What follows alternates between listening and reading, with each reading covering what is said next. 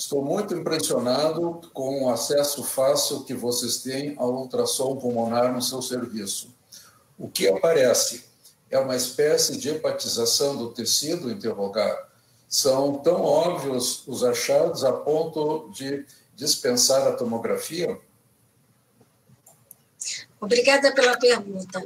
É, não, o que acontece é que lá na policlínica a gente tinha atendimento, que, por exemplo, da vascular, que usava o ultrassom para outras coisas. Como a gente diminuiu muito o atendimento, a gente botou tudo concentrado agora para o atendimento de pacientes com Covid. Né? E nós estamos aprendendo. A verdade é que a gente vê a pleura e ver os ecos da pleura, que são as linhas A. Isso é na pleura, no pulmão normal.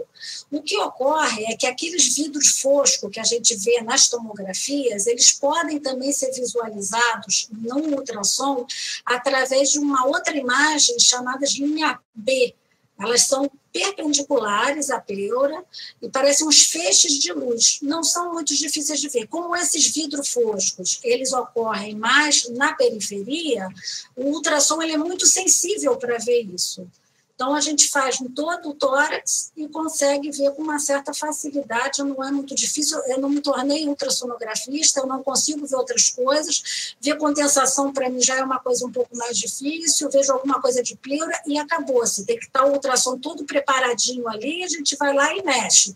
Quando se desconfigura e tem alguma coisa, a gente tem que pedir ajuda para quem sabe venha ajudar e botar de novo na configuração. Então, é assim, a gente só vê aquelas lesões ali que tem que ver e pronto. A gente está treinado só para fazer aquilo. E com isso a gente está tendo uma sensibilidade boa. A gente começou a tomografar esses pacientes para ver se o que a gente estava vendo ali realmente era verdade, né? E a gente vê na tomografia o vidro fosco exatamente onde a gente tinha visto essas linhas B.